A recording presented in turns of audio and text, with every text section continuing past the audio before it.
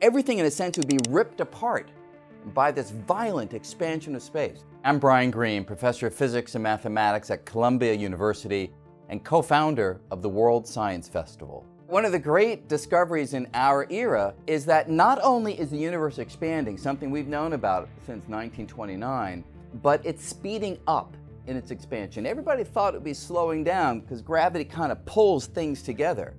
But no, it's speeding up. And it's even possible that the rate at which it's speeding up, that might increase over time. We don't know yet. These are measurements and theories that are right at the cutting edge of thinking.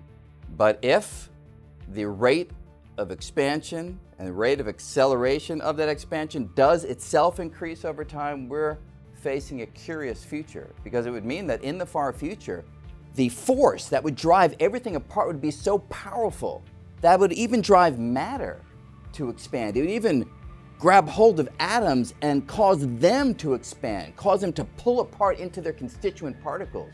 Everything, in a sense, would be ripped apart by this violent expansion of space. It's called the Big Rip. Is that in our future? Nobody knows today, but measurements are underway to try to see if the accelerated expansion is speeding up. And if it is, that might be the ultimate fate of everything.